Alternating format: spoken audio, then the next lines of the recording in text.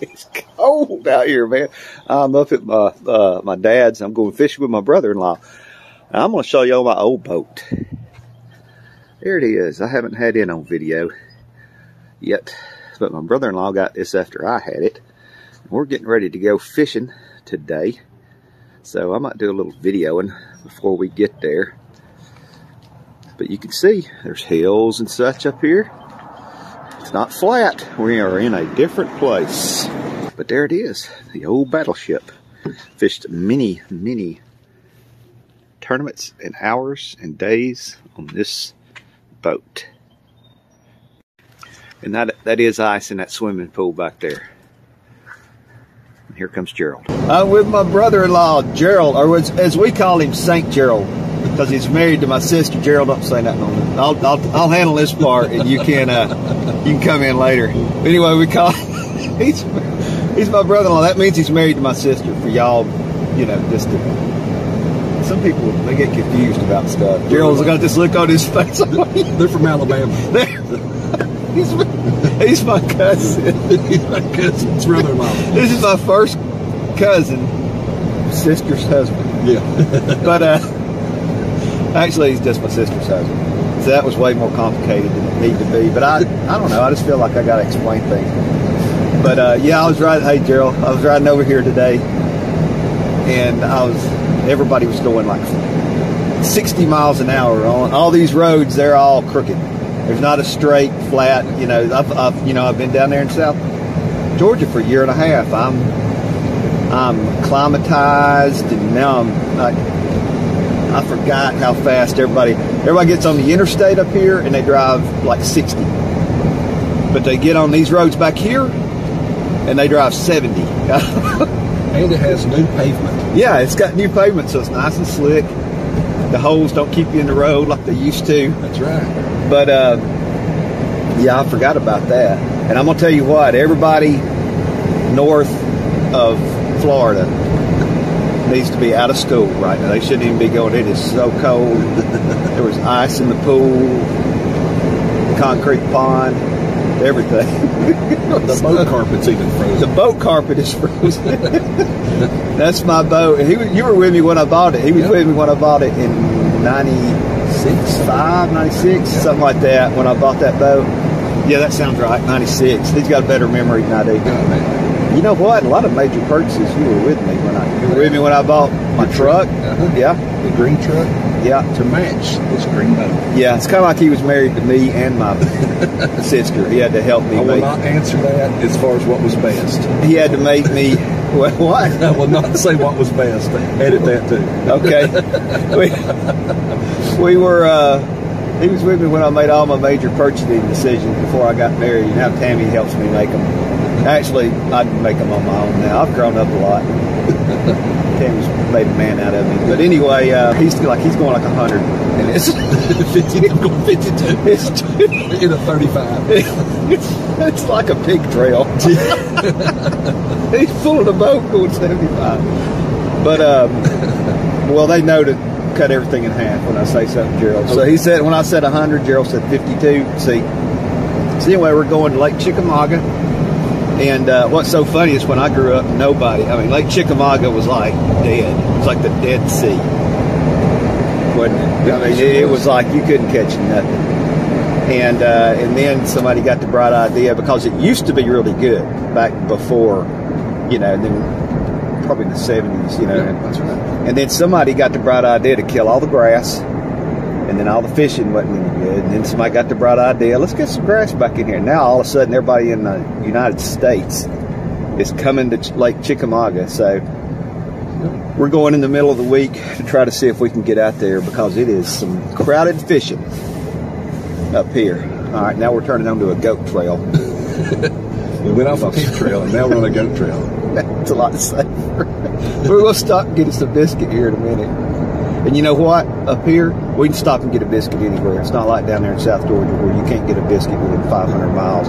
And I mean, uh, you know, I don't mean to insult the South Georgia people, but I don't know what it is with y'all and your biscuits. They eat croissants. No, they eat biscuits. They're just not any good.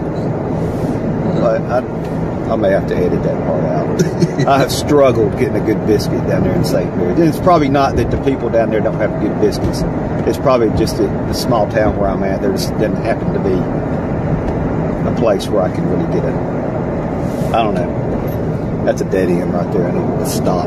There's only one lady down there that's supposedly really good at cooking biscuits, as far as I told. No, she's not- good, yeah. She's not uh, commercialized No. on the selling of those. No, and she don't make them every morning. We just passed a school bus going. He's going from seventy. Kids hanging out the window.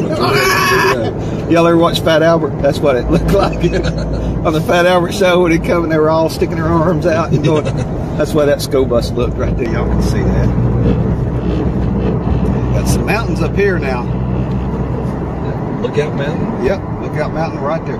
Coal mine, moonshine. There ain't a coal mine within hundred miles of here. Not anymore. Moving on down the line, there probably is some moonshine. There's moonshine. There's Here. some right, right here mine. Yeah, probably right there.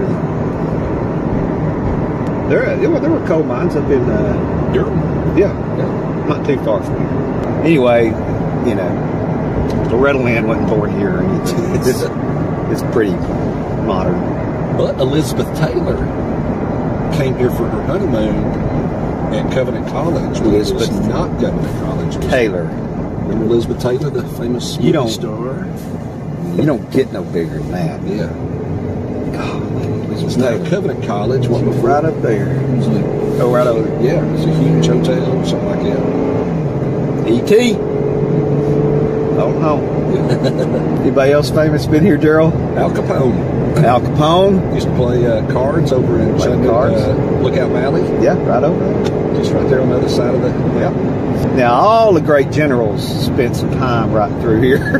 there's a lot of there's a lot of people, a lot of dead people around here. A lot Yeah. from those battles. Right, battle right there, battle back behind us. Big battles, not the little ones, not skirmishes. Well, For real, big for real war. Tens of thousands lost their life. And then uh, what was that guy that died down here in the in in the that drowned? That was the the seance or seer. Oh, uh, Doc uh, something other local local legend. Yeah, he could. He was a fortune teller and all that stuff. was his name? Uh, your daddy could pop that off. He was he drowned down here across down on Yeah. this road, I think. Yeah, I think so. And then uh, and then uh, Doctor Shock, And Tommy Jett, the famous radio, Tommy Jett has his own road right here has front of us. his own road right there. Well, I don't know if it's Uh, a road. It's, it's more than there. I'm probably going to get, but it is about 50 feet of asphalt. He's got a sign. He He's does got have a his name. sign and about 50 Yeah. feet of asphalt. And then um, yeah, Doctor Shock, Dingbat. Yeah. if anybody's local. Yeah, Dwight Yoakam has never been here. Uh, Johnny Cash. Yes. Woo! He's Johnny been- Cash been in Walker County Jail. Yeah. right. Found himself in Nickajack Cave. That's when he, He had did. A, had a spiritual moment in yep. Nickajack Cave. Johnny Cash, Nickajack Cave. He said at that point, Yeah. Put area. He decided that he was going to wear black for the oppressed. Yeah. And Y'all seen Rick? Y'all y'all seen like the Talladega Nights? You know that scene where Ricky Bobby's riding down the. He's like, "What was that?" Things go past him on the on the oh. racetrack. Yeah. What was that? What was that? And they're like, "That's the other driver's Ricky Bobby," because he's going so slow. That's the way I feel on these roads. Stuff goes past me. I go, "What was that?" It's the other cars, Chris. You know what's bad though is I used to drive faster than any of these. but I, when I had that Malibu, I would I'd be going 150. Now that car wouldn't go 150 if you rolled it off the side of the mountain. but I was going fast. I can promise you, I was as fast as any of these people. You're adulting, man. You're just starting to adult. I know. I'm just Good- getting old. Big can't- purchases. Yeah, buying things. caution. Yeah. Yeah, this morning I really did. I was like driving. I was like, these people are all over my bumper. and I'm like, I'm going 45 and speed limit's 45. Lost my mind. Y'all know Richard Jean lives up somewhere. Uh, it's a pretty good ways. He lives over in Sand Mountain, but it's not too far from here. We're in Richard. Gene territory now. Yeah. Yep. Less than an hour. I'm gonna tell you that woman is mean. That's my sister. She's mean. It's almost like she grew up with somebody that like just tortured her all the time. It's like a brother, baby. That's my fault. Everything that happens to Gerald, my sister, that's my fault. I try. I trained her. She's been traumatized. I the traumatized her the Yeah. way that I acted. We are at Soddy Creek. I am bundled up like a newborn baby.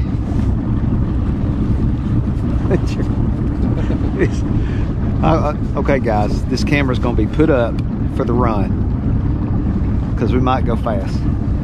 What was that? That was the other boats, Chris.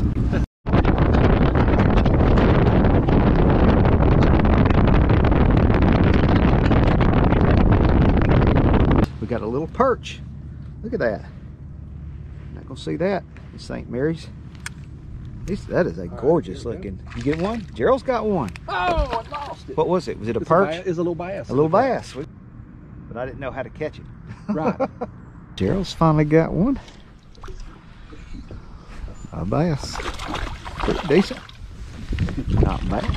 He's got a tattoo on his back. Right? He's got he's tatted up. Yep. There you go.